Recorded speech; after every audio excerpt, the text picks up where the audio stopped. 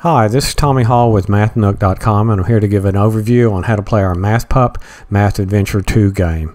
If you're not familiar with MathNook, we have lots of free math games and puzzle games and teaching tools to play and use and there's never any membership or sign up required and everything's always free to play and use.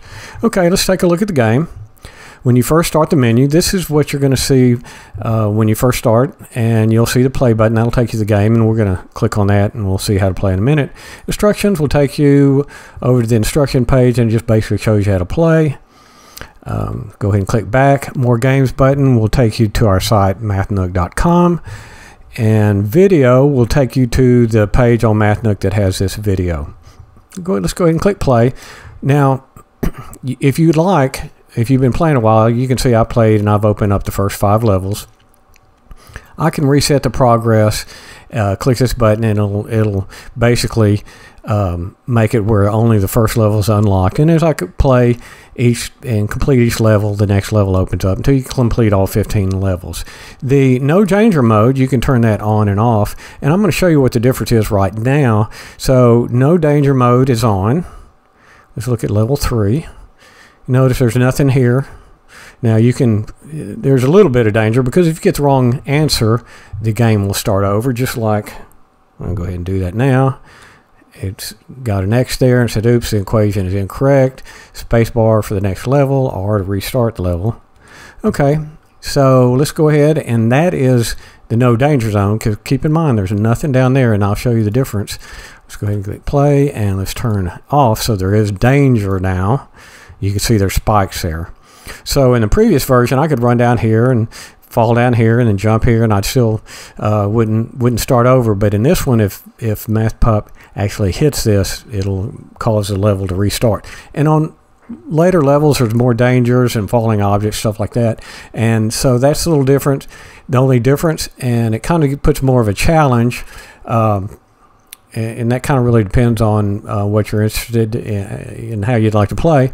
But basically, I'm going to play with the no danger mode on, so you would just focus on the math. One thing I would like to say is, now you've got this down, let's go ahead and restart the level, and you'll see the uh, numbers change, equations change. So what you'll find is this has a lot of replay value because you can go back and um, play it again and if you want just to practice the math. So I'm going to use arrow keys, but in the mobile or touch version, you're going to have, excuse me, arrow keys up here that you can use to uh, move right and left and uh, um, jump up and double jump. Now what I'm using, I'm using arrow keys right, left. Uh, you can't see a double jump here, but I'm using up arrow to jump. Now the mushrooms actually change the um, highlighted equation. So right now, any number that I hit is going to fill it in there. So 6 plus 7 is equal to 13, not 11. So I need to go ahead and look at what equation 7 satisfies, because that's going to be the first one I can hit. Um, so 7 plus 4 equals 11. That's the correct equation. So what I'm going to do is go ahead and move MathPup over the mushroom. Every time I jump up, it moves it down. Now I have the 4 plus blank equals 11. Come over here, 7. And that, that was correct. You can see the check mark there. And now the next equation that's highlighted is 6 plus blank is equal 11. So it's going to be the 5. Go ahead and hit that. And the next one, 4 plus blank is 7, which is going to be the 3. Once I get all of those equations, or I use all the numbers, I should say, get the key and open it up. Okay, now I can hit spacebar for the next level. And now I'm going to look at this.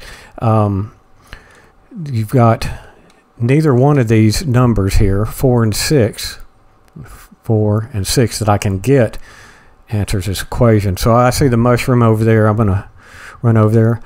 There's a double jump. And don't need to in this level. Well, I will in a minute, but not right now. So anyways, let's go ahead and I'll get the 4 first. So it so it's 4 satisfies 6 plus blank equals 10. So let's go ahead and pick up that number. And I get my check mark. And now 5 plus other number 6. I'm Going to have to bump it one more time so that 6 plus the 6 that I get does equal 12. Now here's where I have to, oop, I better get pick up the key first. Here's where I have to double jump. Now I could go over here. Well, I just did it right there, but I'll go ahead and show you. If I right here, oop, hit it. And you saw the double jump to get that extra height. And the key opened the door and I can go to the next level. So that's pretty much how you play the game. What I'll do now is um, I'll kind of sign off and and just show you how uh, the rest of the video will show you how to walk through the rest of the levels. I believe there's 15 to do. This is level 3, so I'll pick up at level 3, but I'm not going to uh, talk anymore. I'll just concentrate on getting through the levels. Yeah, there's 15, and so I'll go through all the levels and you can see how I do it. And now just keep in mind that they're going to change, uh, the math will change on it every time because it's fairly random, but uh, you can see what you need to do in each levels. If you get stuck, um, but I'd recommend just playing it straight through. And if you really get stuck, you can come back to this video and see how to solve a particular level. So anyways, um, that's all I'm going to say. Uh, the rest of the solutions will follow, starting with level 3. And um, I want to thank everyone for watching. I hope the, this, this video helps some. And uh, have fun with it. And here it goes.